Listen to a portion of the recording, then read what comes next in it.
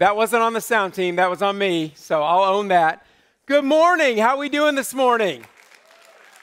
There we go. I want to welcome everybody who's watching online. I especially want to give a shout out to our Middletown campus.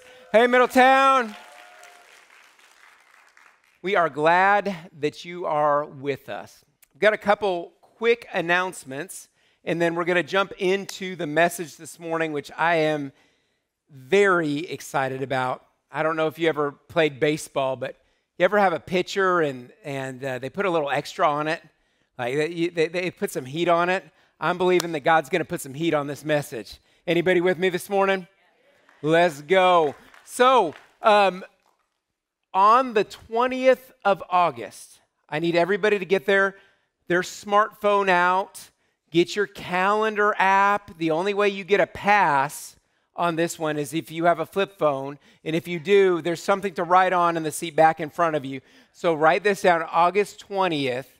A friend and mentor of mine, Dr. Mark Rutland, is going to be here speaking, and you do not want to miss it. Dr. Rutland has been the president of uh, two Christian colleges, and he's known for leadership turnarounds. Anybody need a turnaround in their life? Anybody uh, ready to see God do something uh, exceptional in their life? So I want you to be here and I want you to be a part of it. It's going to be a phenomenal message, and we can't wait to have Dr. Mark Rutland in the house. So um, we are in our final installment of our series called Frequency. And really, what we're talking about is hearing the frequency of God's voice, hearing from heaven, hearing God whisper, hearing God talk to his kids.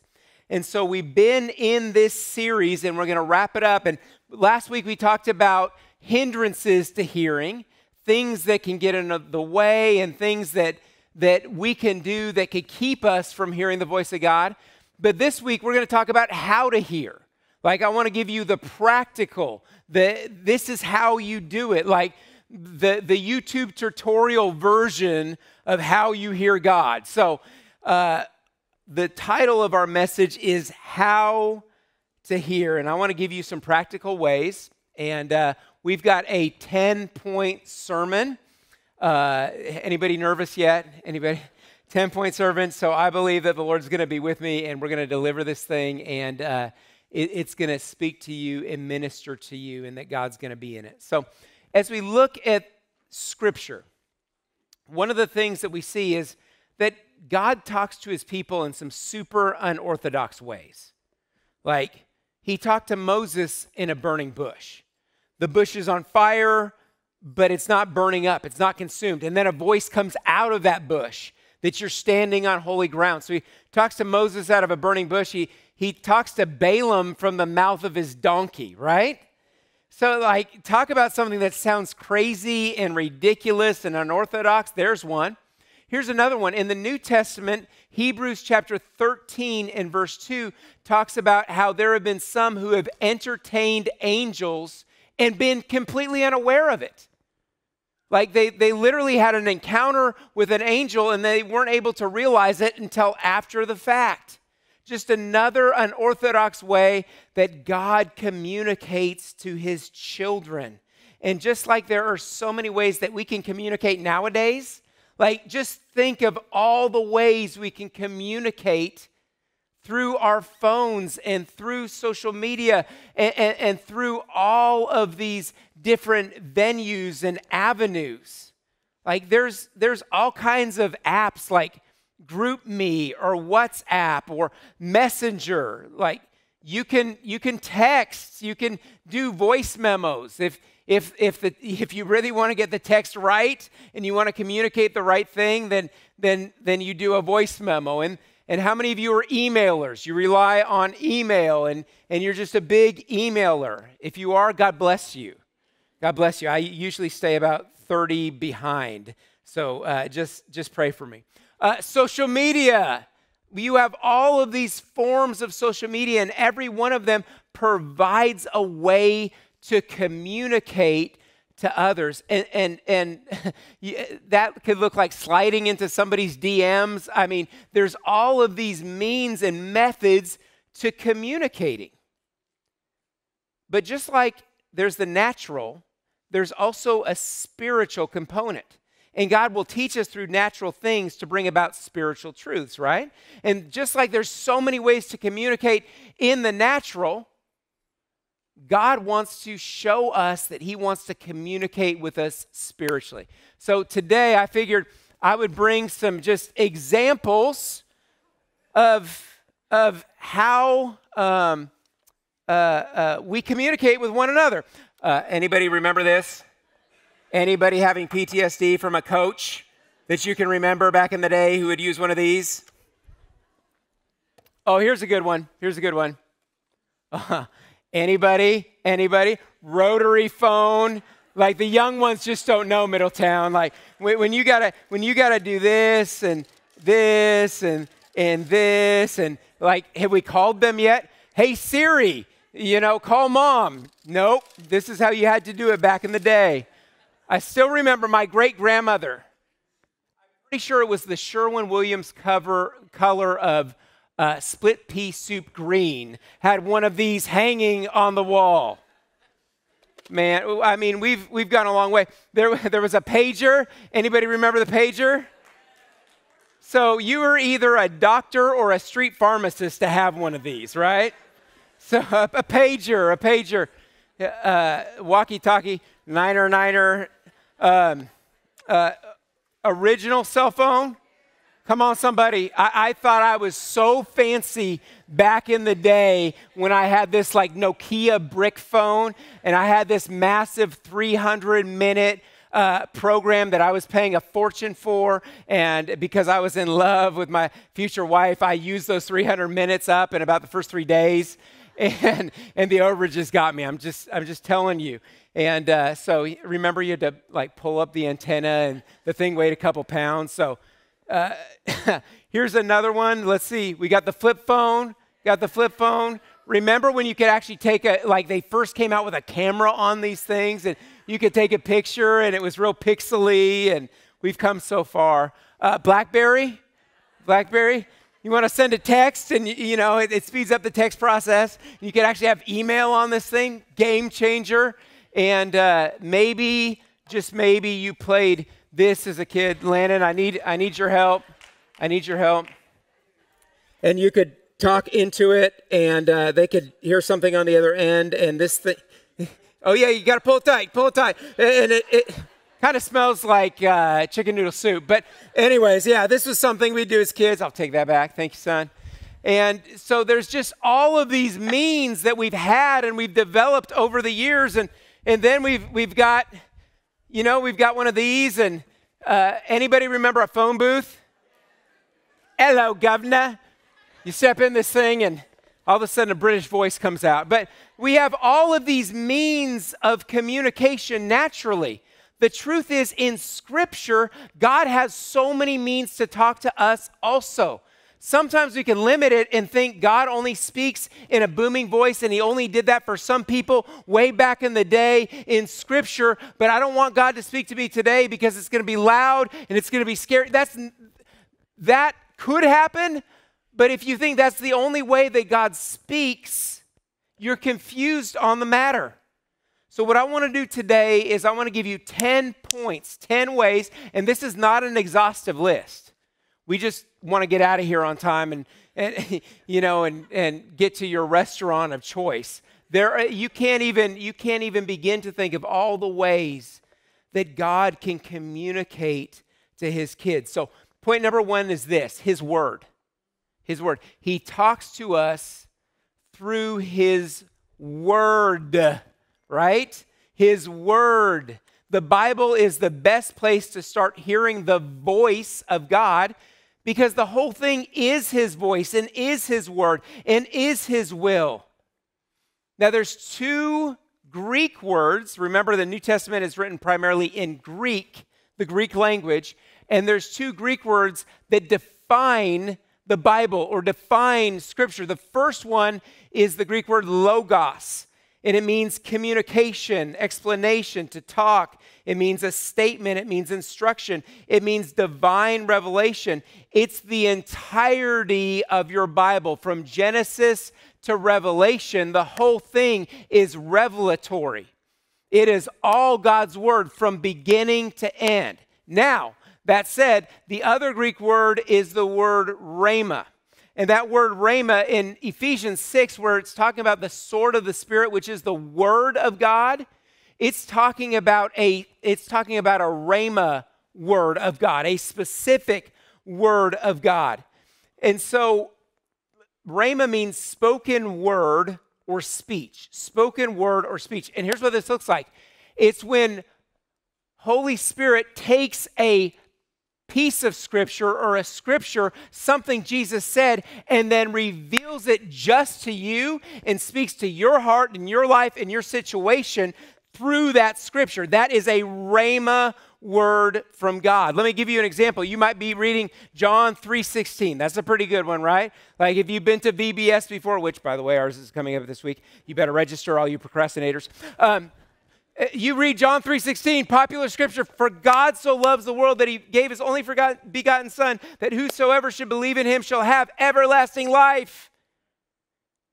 But if you read that and God's got a rhema for you, you might read, and God so loved the world. Wait a second. I live in this world. That means God loves me.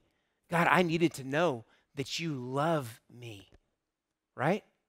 How about Philippians 4:19? For my God shall supply all of your needs according to his riches and glory in Christ Jesus. And you're reading that and you have you have more month than you do money. And you're stressing and you come across that and it's a rhema word. God, you, you promised that you would meet my needs. Now, you might not meet all my wants, but you promise to meet my needs. That's for me. I can, I can hang my hat on that scripture and I can believe you and I can trust you. Thank you, God. That's what a rhema word looks like. Point number two God will speak through confirmation. Mark 16 and 20. Mark 16 and 20. It says, Then the disciples went out and preached everywhere, and the Lord worked with them and confirmed his word with signs accompanying it. So God uses confirmation to speak. God said, This is my promise, this is my word, and I'm going to show you that it, that it is true by confirming it. In this instance, it was with signs and wonders through the hands of the disciples. But God wants to speak to you through confirmation. If you're hearing something and you want to know, you're like, is that God? Or did I just binge too much on Netflix? Like, Lord, is this you or not? Then just ask Him, God, would you confirm what I'm hearing so that I know that it's you? Now, the truth is, not everything is a sign. Just because you have a, a an experience doesn't mean that it is a sign from God, but don't discount it because it might be. And ask God for discernment, ask God for clarity. Gideon in the Bible, he wanted to know if God was really calling him to lead Israel into battle. I don't know about you, but sometimes I read the stories and I put myself in their position and I'm like, I don't know, if a steak dinner spontaneously combusted by fire, I might be pretty positive that, that God is saying, do what I told you to do. And yet, God, in his graciousness, gives Gideon four confirmations all the way up to the battle with Midian. God was good enough to be gracious with him. Does my circumstance, does what somebody else is saying to me, is what I'm seeing does it align with what I'm already hearing? Right? I'm not saying God can't give you something out of left field, but a lot of times what will happen with confirmation is God is already whispering to you and you're wondering about it. Then He'll come along and He'll confirm it. He'll show you my stamp of approval. This is what you need to do. This is where you need to go. This is the decision you need to make, right? Point number three dreams and visions. Dreams and visions. So, Dreams and visions, I, I think it's interesting because when you read the Bible, there are so many examples of dreams and visions in the Bible. But now we're in 2023, and all of a sudden we don't really believe in dreams and visions anymore. And I, I just think that's ironic that something that's in Scripture so many times we would discount. Let me give you a scripture to put on it, which is Acts chapter 2 and verse 17. And it says this In the last days. How many of you know? Probably in the last days, like famines, wars, and rumors of wars. I'm thinking that, you know, if nothing else, it aligns with Scripture. So, in the last days, here's the promise for in the last days. God says, I will pour out my spirit on all people. Your sons and your daughters will prophesy. Prophecy is actually one example of how God speaks. Your young men will see visions, they'll be visionary. Your old men will dream dreams. Now, I'm not saying that every weird, cockamamie, crazy dream that you've ever had has spiritual significance. Bro, if, if you watch CSI before bed, you're going to have weird dreams. I'm just telling you right now. But God can be in those dreams. Think about Jesus' birth. Joseph has two dreams. One is a warning dream. You need to go to Egypt, you need to get out of here. Another is a dream that, hey, guess what? Uh, uh, Mary really did conceive by the Holy Spirit. So these are significant dreams that he's having that affect Jesus' life from the very beginning. The Apostle Paul in Acts chapter 16, he's headed one direction and he has a dream of a man from Macedonia. And he literally changes on a dime the direction that he's going to go because of a dream that had prophetic implications. Now, I don't know, I just, I don't just know this from Scripture. I've literally seen this happen in my own life. And uh, you might be like, well, this doesn't align with my theology. Well, I've got the experience, so I'm going to tell the story. Um, in, it was around 2014 to 2015. I can't remember the exact date when this happened, but um, we had somebody who went to our church in Oklahoma, and she would actually uh, babysit our kids sometimes, and she really loved Kate. And she was an extreme introvert, but super sweet, super sweet.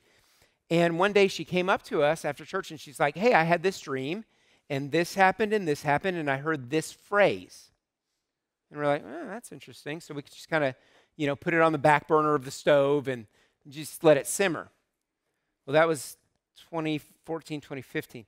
2016, what she dreamed came to pass in exact detail, and the words that were spoken were verbatim, not like kind of maybe could be. No, I'm talking a verbatim sentence of exactly what was said. Here's the thing you can't make this stuff up. You, you can't pretend, well, that's just a coincidence. No, God shows us all the way through His Scripture. Why would God show us in Scripture and then quit doing it now?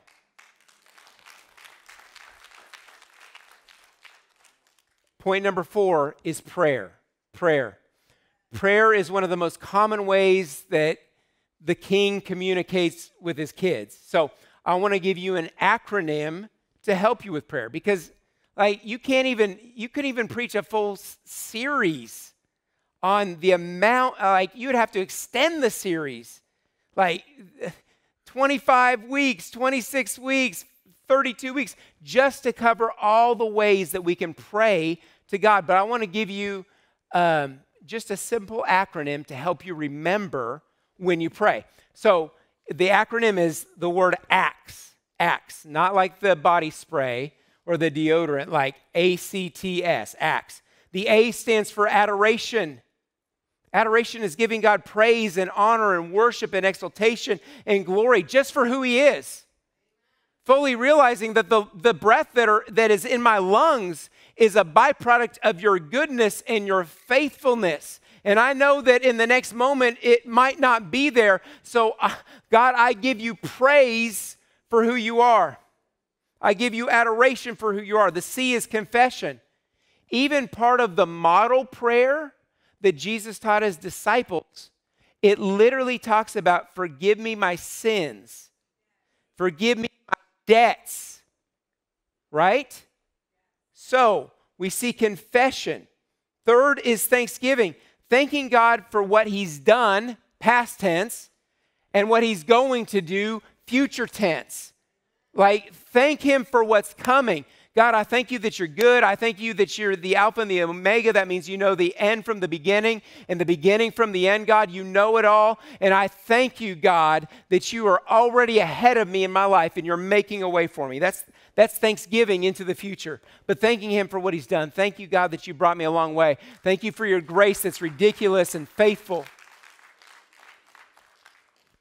Thanksgiving. And then finally, when you've done the first three, now you can qualify for supplication. The problem is we try to do it backwards and bring God our grocery list of wants, needs, and desires, and we start out with supplication. No, don't start out with supplication, start out with adoration. And then you finally move to supplication. A great example is Philippians 4 6, where it says, Make your requests known. Supplication is a prayer of supply. You're, you're praying for supply for yourself, but also, and even more so, for others. Is your prayer life only about you? Gimme, gimme, gimme. God, I need, I need, I need. Or are you praying for others? Because the Bible says that Job had his breakthrough when he pr- prayed for his ridiculous, bad advice, no good friends. Like they didn't deserve Job's prayer, and he prayed for them anyways.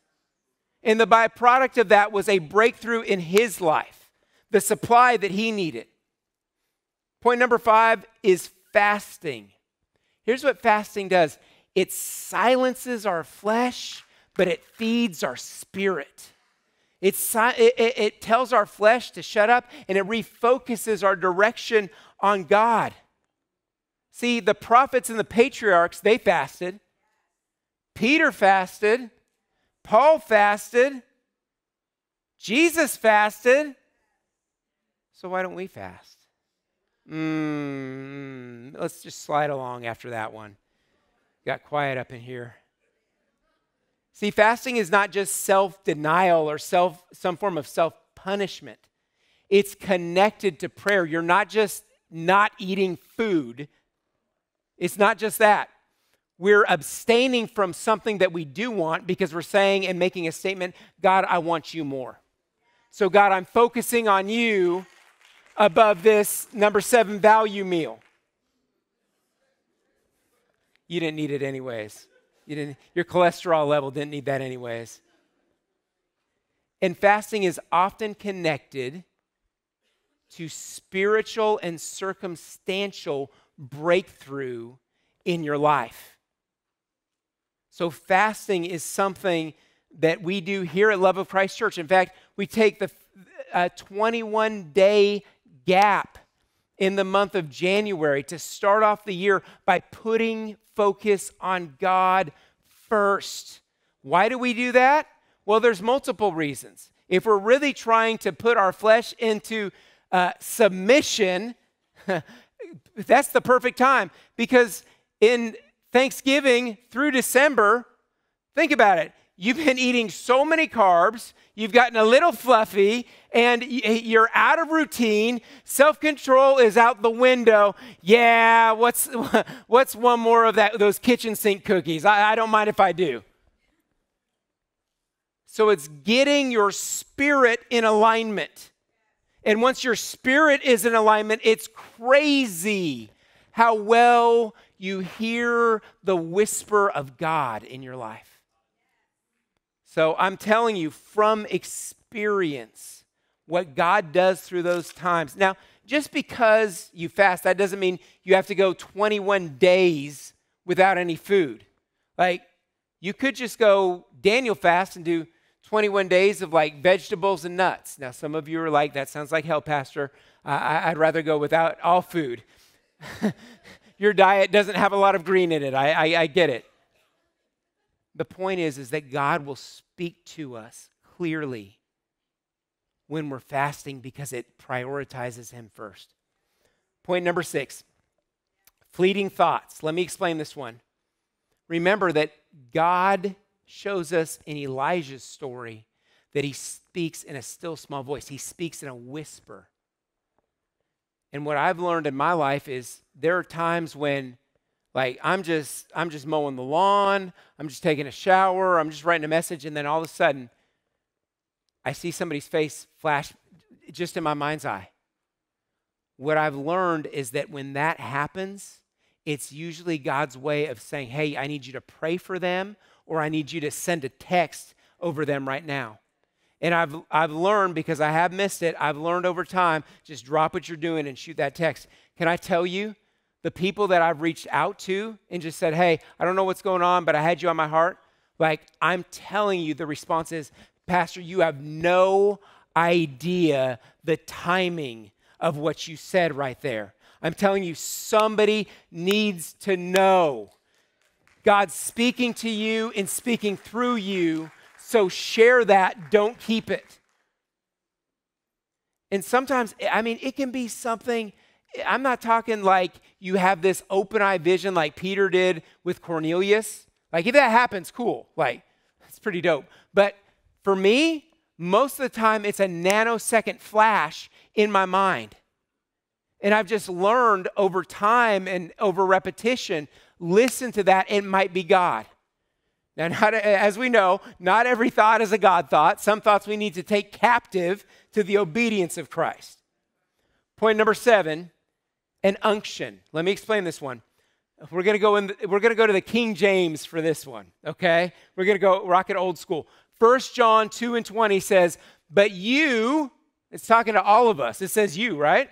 But you have an unction from the Holy One, and you know all things. Another translation says you have an anointing from the Holy One or an anointing from the Holy Spirit. What it's talking about is we can have this anointing or this unction, and uh, connected to that unction or that knowing is knowledge, is truth, is direction. There is a knowing that comes as a byproduct of that unction from Holy Spirit. And, and this can be like a knowing on the inside that's deriving from Holy Spirit. So let me say it like this it could just be something in your gut. You ever just had something in your gut and you couldn't shake it? And you found out later, I'm sure glad I listened to that gut instinct. Like, that's not your sixth sense. That, that's Holy Spirit at work. He's giving you an unction, He's giving you a knowing. You just, I don't know why, I just know that I know that I know. I remember one time I was praying, and I had really been seeking seeking God. Uh, we were I, we were young, didn't make a lot of money, and made lots of financial mistakes. And uh, we had we had a good amount of debt in our lives. But I remember praying one time, and God God told me, He said, by the end of the year, you're going to be debt free. By the end of the year, you're going to be debt free. And I was like, all right, Lord. And and then I thought about it, and I was like, that's crazy. How's that going to happen? Like, I'm looking at the math. I'm like, one plus one doesn't equal two here, okay? But I couldn't shake it in here. And literally, in God fashion, on December 31st, somebody walked up to us and said, I need you to write you a check for your debt. How much is it? And it was paid off but I couldn't shake it in here. That's what an unction feels like. I, I can't get away from it. I can't shake it. I'm not saying be led by all the feels, right? But I am saying as you continue to pray, if it stays, it could be God speaking to you. Point number eight is circumstances. God speaks through circumstances, but not all circumstances are God speaking, and you have to learn to discern the difference. Let me give you an example. 1 Kings 17. The circumstance is drought.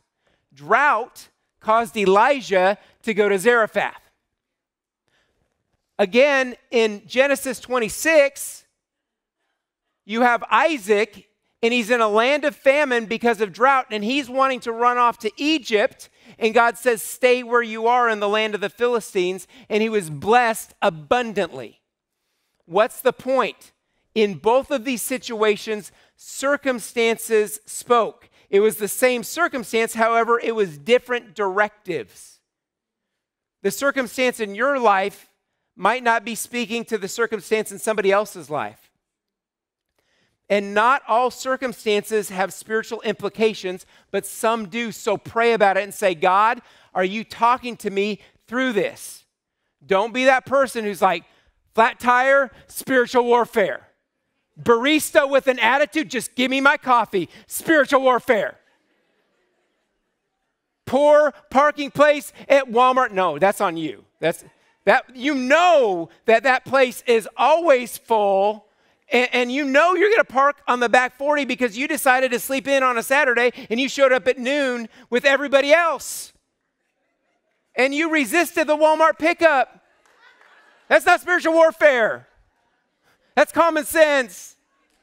The devil is a liar. Yes, he is. But sometimes it's just life. So discern the difference. Point number nine is peace. Pastor, how is peace going to speak? I'm glad you asked. Open your Bibles to Colossians chapter 3 and verse 15. Colossians chapter 3 and verse 15. And it says this And let the peace that comes from Christ rule. I want you to write that word rule down. I want you to highlight it, copy paste it, post it, whatever you need to do the peace that comes from Christ rule in your hearts. For as members of one body, you are called to live in peace and always be thankful. That word rule right there, it means to decide, to determine, and to direct.